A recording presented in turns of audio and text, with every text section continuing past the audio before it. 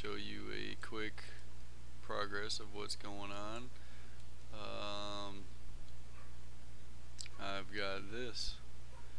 I'll be showing you how to do this soon. Um, this is... Ah, hold on. Dun, dun, dun,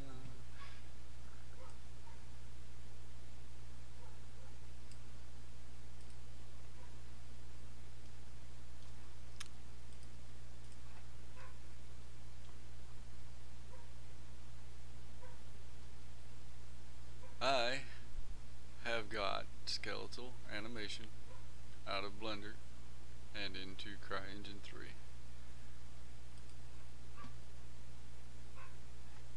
Is this uh, this is just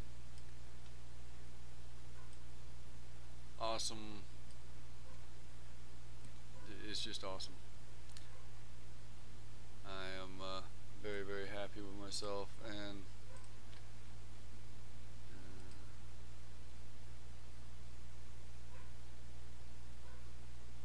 I'm really happy with myself.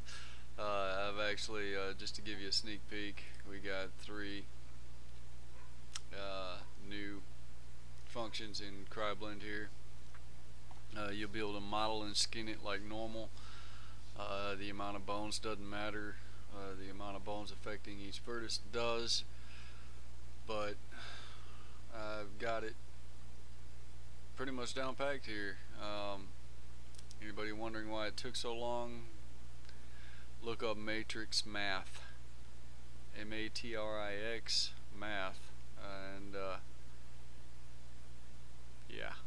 uh, but anyway, this is just a short sneak peek. Um, be looking for this here soon. Uh, hopefully next few days.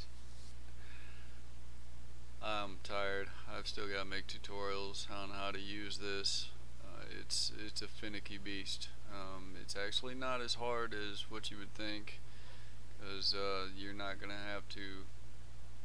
You'll be adding keyframes for each handle. I'm pointing at it like you can see me, but uh, you can add keyframes for each handle and uh, make a list of all the keyframes for the fake bones that you add and then go in and choose where you want to add the keyframe for all the fake bones all at the same time. You don't have to select each fake bone and add a keyframe for each movement or anything like that. It just it, it cycles through it and it adds a keyframe for every bone for you.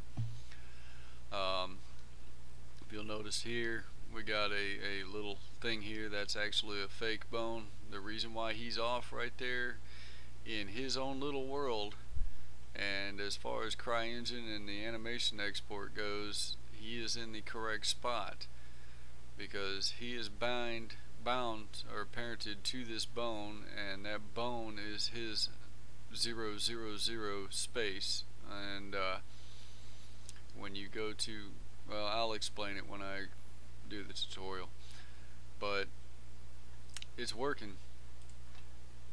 It's freaking alive, man. I'm I'm very very happy. I've got skeletal animation working with this. Uh, this is also going to be the uh, same thing you'll use for like rope and cloth, things like that.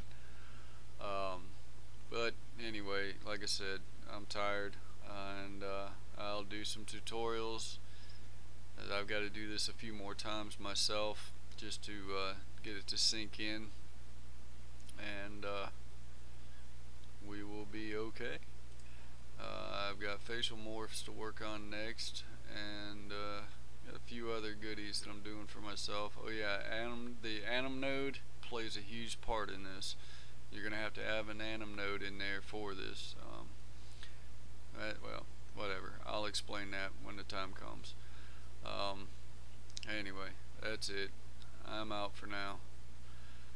So, that's just